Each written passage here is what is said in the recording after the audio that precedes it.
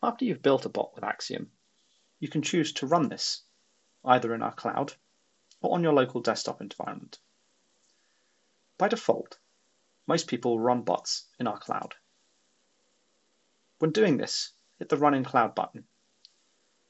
Axiom will then pass any session data you're using for the websites in your automation into the cloud only for the duration of this run.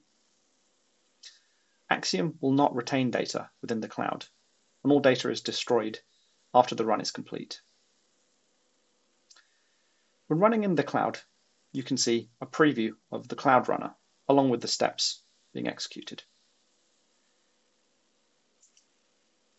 If you would like to run a bot locally, download Axiom's desktop app.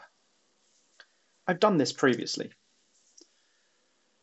I'm now starting Axiom's desktop app to run a bot locally. To do this, click Run and then Run with Desktop app. When doing so, Axiom will open up a new window to run the bot locally.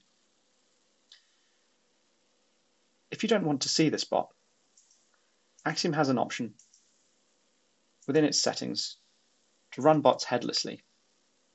By default, headless is off, so you can see bots as they're executing. We recommend this for debugging.